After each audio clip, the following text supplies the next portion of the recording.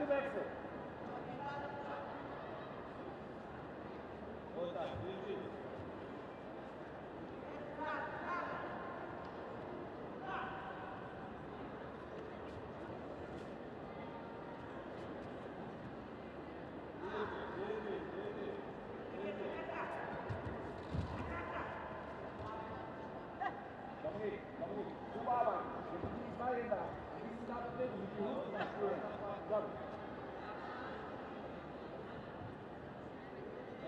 Bundesliga-Partner.